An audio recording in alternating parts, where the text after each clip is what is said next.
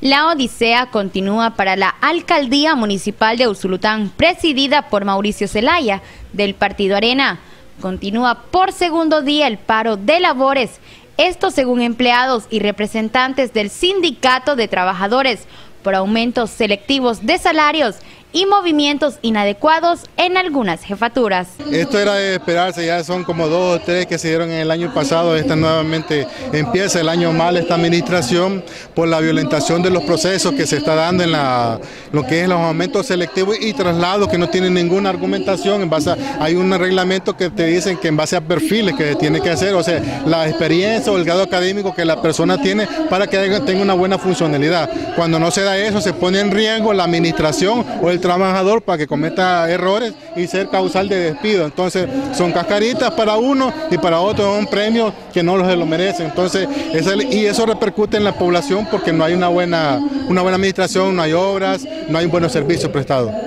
Según Jaime Salmerón, concejal del partido FMLN, esto se debe a la mala administración realizada por el gobierno municipal en turno, quienes lo que buscan son excusas para realizar despidos y esto trae como consecuencias afectación a la población que no puede realizar sus trámites dentro de la comuna. No, de hecho nosotros como FMLN siempre somos aparte de las actividades de la clase trabajadora porque siempre se da esa cuestión que, hay como un manipuleo, dicen. De hecho ayer no, no, no hicimos presente esperando que esto se pudiera resolver. El punto es que ni el alcalde, ni un concejal, ni el gerente han venido a hablar con ellos. Entonces soy concejal y tengo que hacer un esfuerzo de mediación también y a la vez dar las causas, la denuncia, por qué se dan esos hechos, porque no solo ellos son afectados, también somos nosotros como concejales que se toman acuerdos fuera del consejo y los reparos, si uno no está al tanto para poder salvar, lo puede repercutir a uno también porque somos parte de la administración.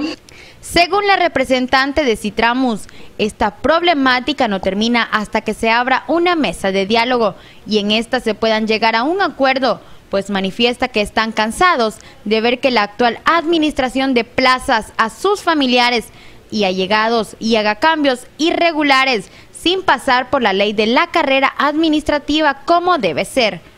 o por lo que ellos saben o por su, su, título, sino simplemente porque son allegados de diferentes concejales, alcaldes, familia. Entonces, eso es lo que nosotros como este año le pedíamos al Consejo, que toda persona que ascendiera a un ascenso pasara por la carrera administrativa donde la ley lo dice, pues verdad, para que así no se dieran estas, estas circunstancias, estos problemas. Vaya, mire, nosotros por el momento... Eh, Sabemos que ellos nunca han tratado de dialogar con nosotros como Citramo, porque para ellos nosotros somos los enemigos, porque cuando nosotros vamos a la mesa con ellos, nosotros no le llevamos invento, llevamos papelería, le llevamos insumos, le llevamos todas pruebas donde nosotros lo que estamos peleando es algo real, no venimos a hablar cosas que no, no existan ni que son, ¿verdad? Entonces, esperamos que eh, ellos vean, porque el, próximo lunes creo que hay reunión de consejo y esperamos que ellos reaccionen, aunque ya ahorita se nos han informado por ahí